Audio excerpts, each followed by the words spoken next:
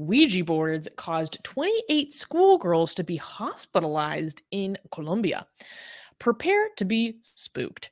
Recently, a group of schoolgirls in Colombia experienced a chilling encounter with Ouija boards that left them hospitalized. A Ouija board is a board with letters, numbers, and other symbols printed on it that some people believe can communicate with spirits or the dead. Participants place their fingers on a small heart shaped piece of wood or plastic called the planchette, which moves around the board to spell out messages, purportedly from the spirit world. According to the reports, 28 girls were rushed to the hospital after they suffered from anxiety attacks following their use of the mysterious board game. The incident took place in the Galeras Educational Institution in southern Colombia, where girls reportedly fainted and displayed numerous symptoms of anxiety. Although parents are blaming the Ouija board for the hospitalizations, the school board, the school's head has urged caution and restraint, calling on people to avoid jumping to conclusions that may cause unnecessary panic. Interestingly, this is not the first time such an incident has occurred in Colombia. In November of last year, 11 teenagers from another school passed out using after using the same board game. However, it was later discovered that teenagers had actually suffered from food poisoning, not the supernatural. Hmm. What do you suspect is happening here?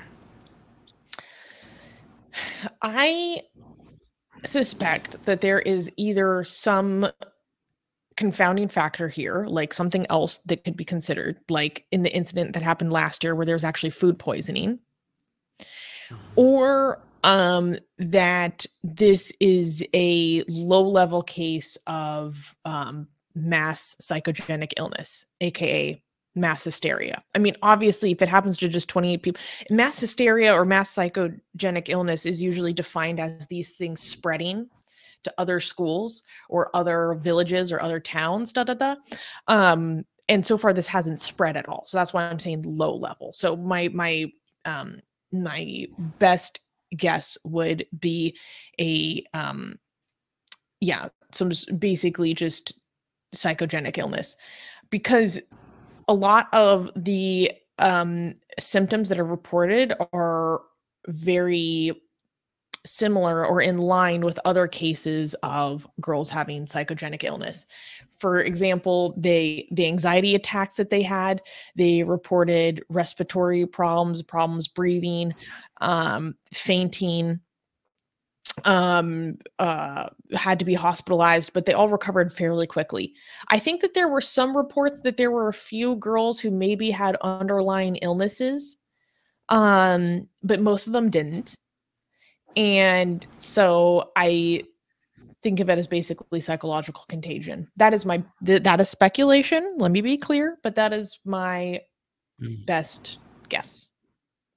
Yeah i mean you just need a couple of them to have uh an episode and given that you know the they had the thing there the, uh, all the other ones who who are not prone to being to such an anxiety attack they're just going to um, relate these two with each other and all of a sudden they have a reason to have an anxiety attack right? So you just like imagine you have 28 girls imagine two of them actually are prone to having an anxiety attack but people who are witnessing that are just going to con- connect these together and now they're going to think that they're under harm's way as well and they're going to have a more yeah because they're like oh we're uh, playing with the ouija board as well. That means that we are also prone to having this yeah. reaction because the spirits are inside of us da da da. That because if you look at um our editor d put in a few tweets where people were responding to this news and they're basically talking about how these girls were possessed.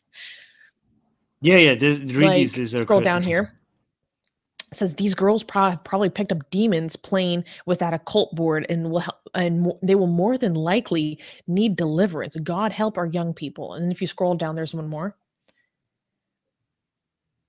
it says, I know people think that the occult slash voodoo slash rituals, etc., is just something fun to play with, and especially because of how it's portrayed on TV in recent years. But these are all very dark spiritual practices, and I think people have been brainwashed into thinking that they aren't. So a lot of people are going to think that uh, this is they literally were touched by spirits, and that's why they're having this reaction. Um, and that belief is probably in my again speculation um i think what what fueled this event is someone had an, an anxiety attack and then the girls are like oh my god i also was touched by spirits da da da da da Yeah, I mean, it makes sense. You only have to believe that this could happen, and then you're going to have an anxiety attack. And if you see something happening and you believe that something could happen, then you're going to have anxiety attack. I mean, it doesn't. I mean, I'm not saying that's what happened, but I wouldn't be surprised if that's what happened. D is saying God was warning them. Get my best selling book, Why There Is No God, for free. Click on the link for it in the description.